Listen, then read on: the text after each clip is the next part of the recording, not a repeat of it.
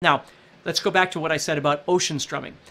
I call it ocean strumming because sometimes it, it makes it easier for you to think about in your head. But if you were to go somewhere, if you don't live near the ocean, I don't live near the ocean. If you go to the ocean and you just sit and watch the waves of an ocean, right? It, it's it's pretty mesmerizing. Not only what you're seeing, but what you're hearing, because it's unpredictable. It's not like it's you know a, a sine wave or something like that that's that's consistent. It's not. The, sometimes the waves are big, sometimes they're little, sometimes there's a lot of them, sometimes there's just a few of them. Um, you know, depending on what the wind is doing, sometimes they can be really aggressive and then all of a sudden it'll get calm. And I always think about strumming as kind of being that. So if I was to take, for instance, a G chord and a D chord and a C chord and then back to a G chord. And you can kind of do this with me, okay? If you've got your guitar handy and if you're if you're at work or something, obviously you can you can, you know, try this later, but um, you know, if you've got your guitar handy and you want to play along with me here, we can certainly do this.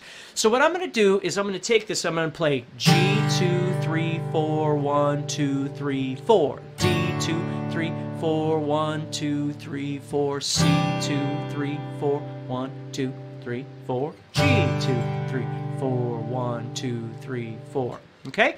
Only we're going to do that a little slower, just so it, it doesn't feel so rushed for you. So I'm going to go...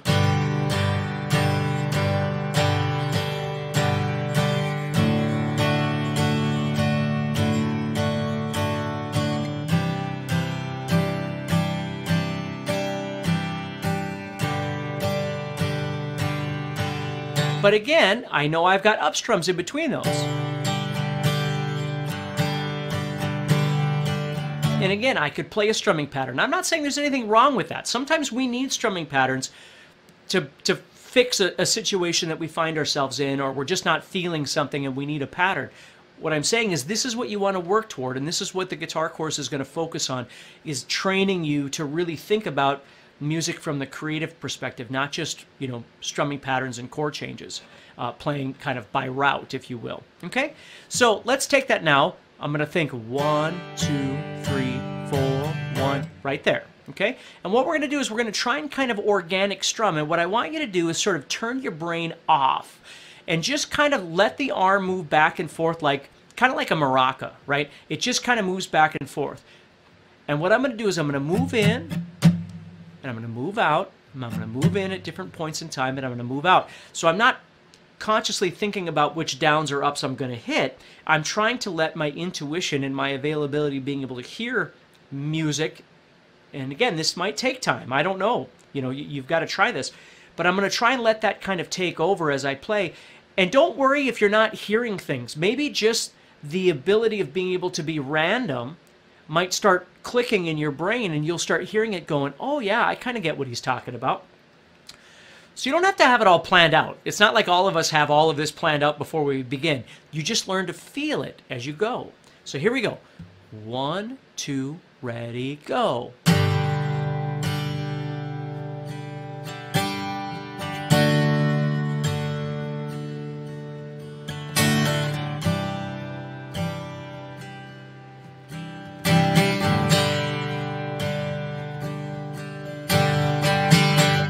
Now, if you find when you practice that, that it's really hard for you to do, what you could do is simply avoid the chord changes, just pick one chord and just practice that. Okay? Now, what I like about that section thing I was telling you about, about the top, the middle, and the bottom, right, is that if you're on a D chord, for instance, you can use that to your advantage because instead of strumming the whole guitar and hitting some strings you don't want, you just direct your pick toward the middle or the, the bottom. Again, the bottom thinking toward the floor here you kind of direct your pick that way in your mind. So you're not again you're not worried about whether you're hitting four strings all the time on a d chord. Obviously that ideally that's what you want. But that doesn't always happen for any of us. So you just kind of hit at random places here.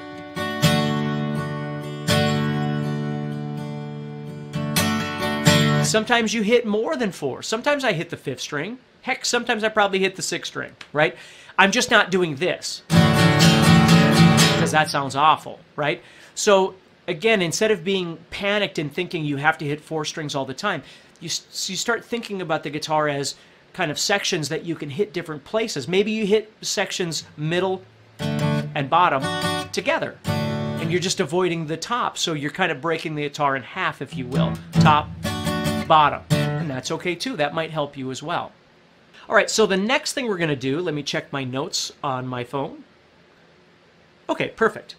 All right, so let's say we start developing that. And again, I want you to understand that it, this isn't a, okay, I'm going to practice this Tuesday and then I'm done, or Thursday or whatever it might be. What I want you to think about is that it's something that you do every day because the more you can develop that strum, I have found the more opportunities I get for doing recordings and performances and things like that because I'm able to keep a really steady. I, I had one one uh, producer tell me one time that I had the um, I my timing was like ACDC. It was just like a rock. It was solid, and that was one of the nicest compliments I I ever got because um you know I take pride in my availability of being able to drive a song um for people to play along with or to sing along with or whatever it might be. You know, as a guitar player, you're not always driving the song. Sometimes the drummer is. Not all the time, though. I mean, different songs require different things. And um, some songs you let the singer lead, right? Because maybe the song can use some some tempo changes with that singer, and so you're playing in back. You're kind of following that singer. But in order to do that, you've got to be able to listen. You can't just be focusing on you know your chord changes in a strumming pattern the whole time and not listen to the musical world that's going on around you. You've got to be able to listen and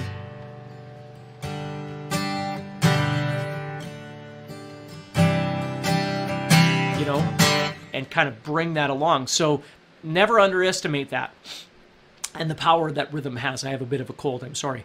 Uh, so the next thing that we're going to do is we're going to talk about simple embellishments to your chords to make those a little more exciting, okay?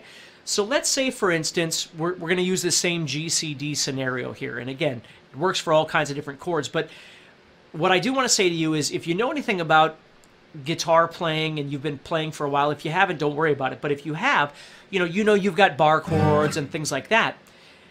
And um, bar chords are great because they fill in the gaps of certain chords that you can't play in the open position.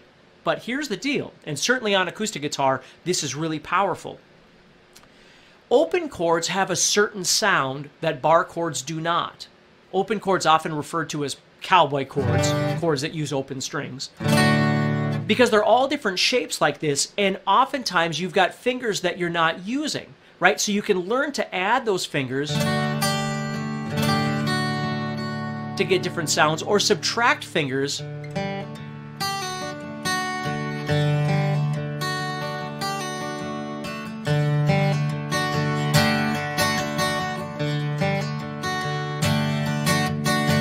you see?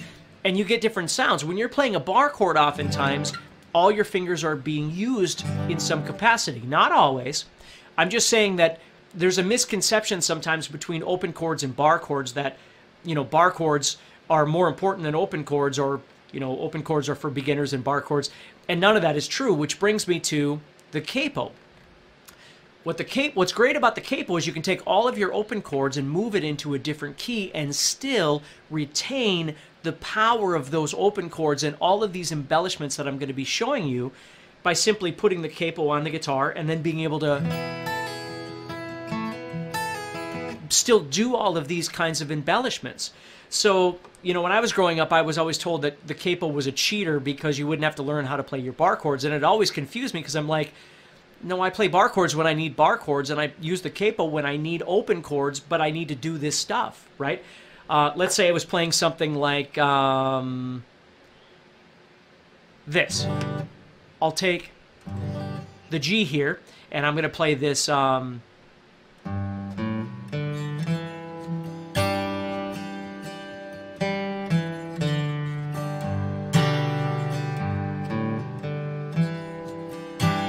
right, Wish You Were Here. So I'm playing Wish You Were Here and then my singer comes along and maybe my singer oftentimes is my daughter right?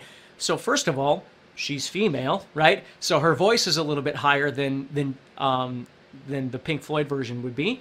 So what i would do is go okay well let's go to the second fret here. Okay let's try that. So now i do the same thing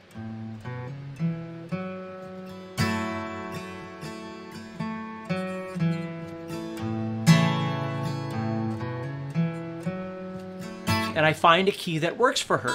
And that's beneficial for both of us because for me, I'm not revamping the way I play it. I'm playing it the way I always play it. I'm just playing it somewhere else. Okay? So there's power in learning how to use the capo and still maintain those open chords and all the stuff that you're learning how to do. It's an entirely different thing than learning how to play bar chords, just so you understand that.